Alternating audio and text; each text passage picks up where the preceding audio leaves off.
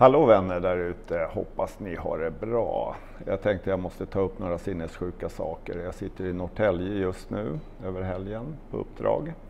Men jag passar på att göra en liten video. Ehm, jag minns när jag var sådär ja, på 70-talet, ungdom. Vi vandrade i stan och vi kunde se att det fanns porrbutiker.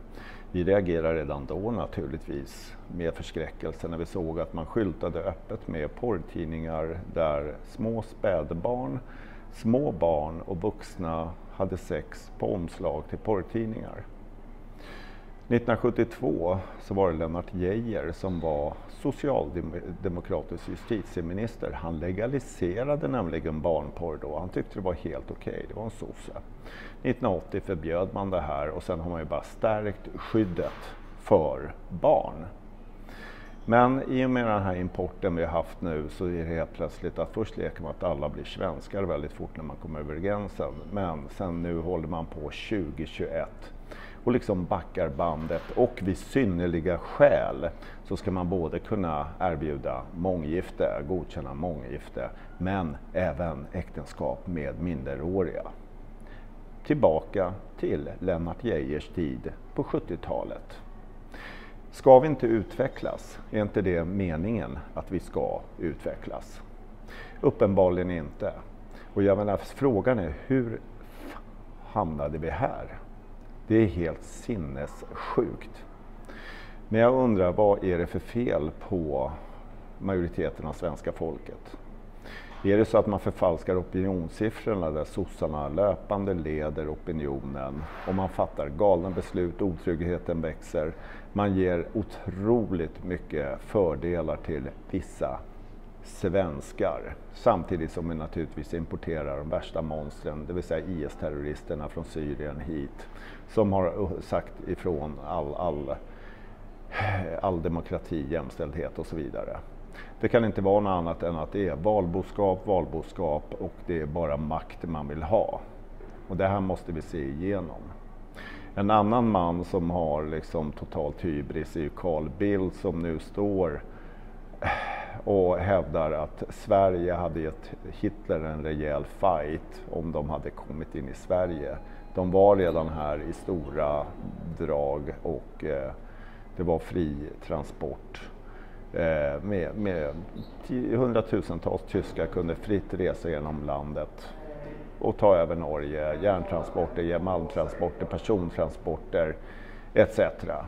Sverige samarbetade med nazisterna under den socialdemokratiska regeringen och lekte neutrala under andra världskriget. Och nu står Carl Bildt och tycker liksom vi hade gett dem en jättebra fight.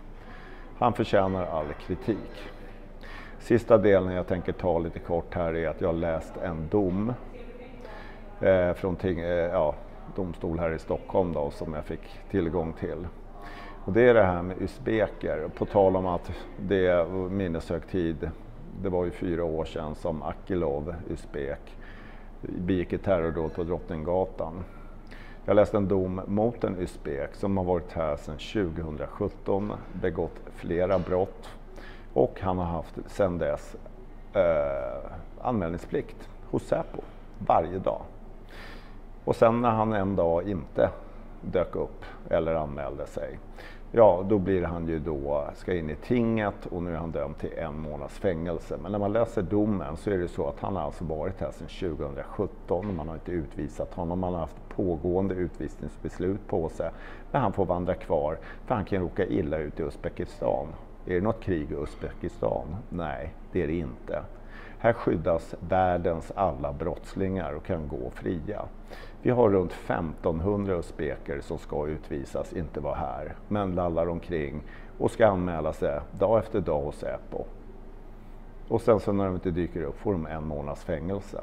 Samma man har, det är sinnessjukt det här, samma man har fru och barn som sitter nere i Turkiet och väntar på att få komma hit. Alltså till en utvisningsbeslutad kriminell usbek.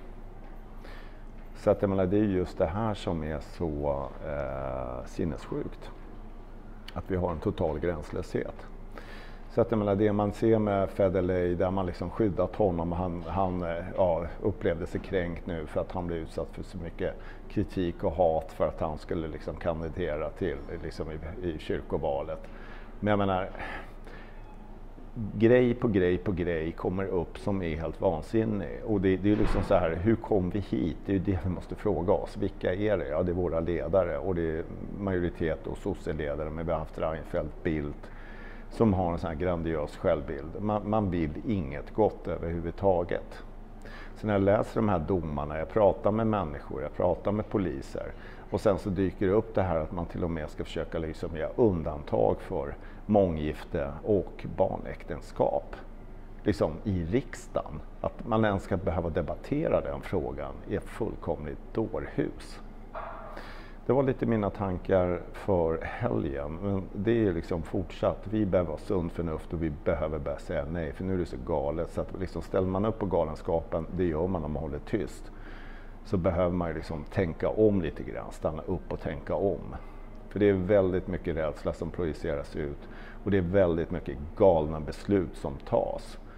Att sådana här saker ens ska komma upp på riksdagsbordet för liksom beslutstagande, bara det är helt vansinnigt. Jag önskar en bra start på veckan och en fortsatt bra helg. Hej!